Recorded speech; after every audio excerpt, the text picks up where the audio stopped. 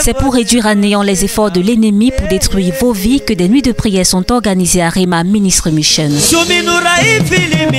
Dieu veut fonder votre année 2021 sur lui-même. Le couple prophétique Ferdinand et Shalom Ekane vous invite ainsi, quel que soit l'endroit où vous êtes, à la première nuit des flammes de cette année.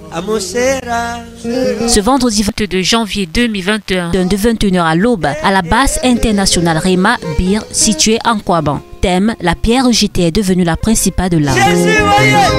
C'est une nuit de signes où des lampes de Dieu établies pour illuminer l'église du Cameroun apporteront un renfort spirituel au couple prophétique Ferdinand et Shalom Ekane pour permettre à Dieu de vous élever où les hommes vous ont méprisé. Ainsi, les prophètes Leslie Samet, Lancy Samuel et Rodrine Defo seront présents au programme Enseignement, Prophétie et Délivrance. Venez rejoindre ces invités de marque à cette nuit de gloire car Dieu veut faire de grandes choses dans vos vies en 2020. 2021. Plus d'informations au 680 79 66 03.